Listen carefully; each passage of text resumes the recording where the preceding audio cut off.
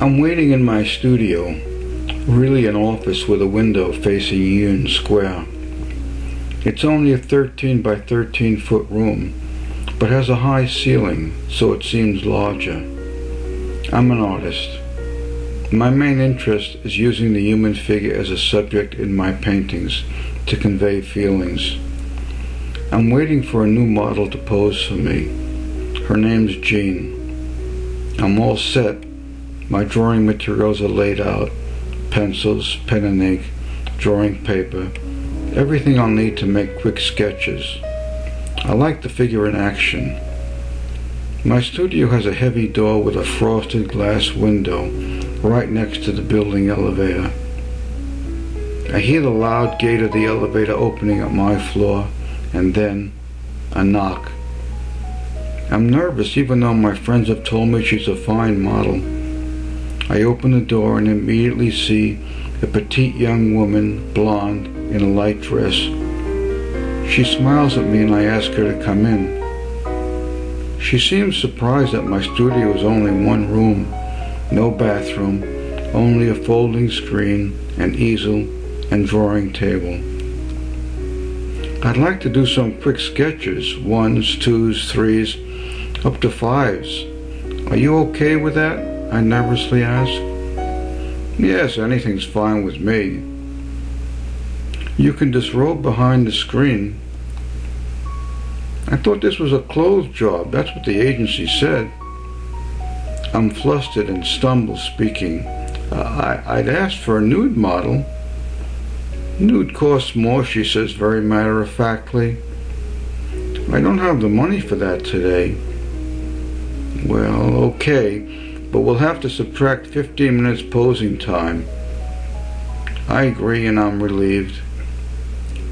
Instead of going behind the screen, she starts to disrobe slowly, one garment at a time. I see that she has begun posing. Quickly, I get my pad and some charcoal and start drawing. After a minute, I say, Change, please. She does. Please rotate your body from one position into the next without thinking about it. Her body turns gracefully.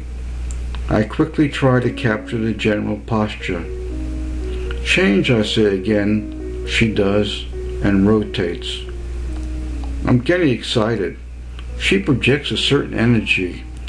I find myself trying to capture that energy in my drawing.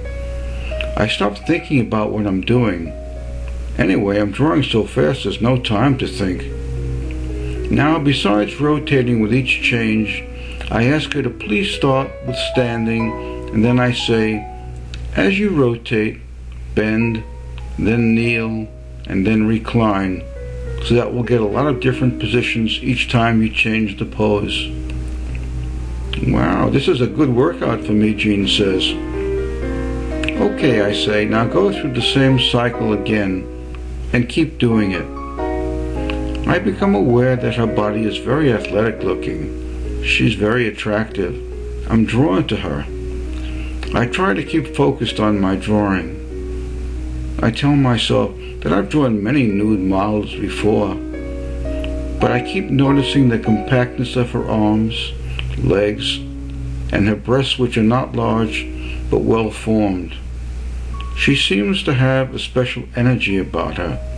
I want to capture it, to make it my own, to have it in my drawing so that when I look at the drawing, it will energize me. I want to capture the experience of her. Jean asks, Would you ever consider marrying an artist model? I'm surprised by the question. Hesitate. I say I would in that it, posing nude was an issue. It means little to me. And I reminded that many famous artists have married their models. Time to rest. Jean puts her robe on. She seems more relaxed, but really she has been more relaxed than me all along. The next hour and three quarters pass quickly. Change, please. Change, please. I ask for longer poses, and I feel that we are both loosening up. Her pose is more relaxed, my drawings freer. I think I'll end up with some good ones, and I tell her that. She seems mildly pleased. I find I want to please her, for her to like me. I won't admit it to myself, but I'm being seduced, or hoping that might be the case. I don't know what it is about her that causes me to feel so energized, but it feels good.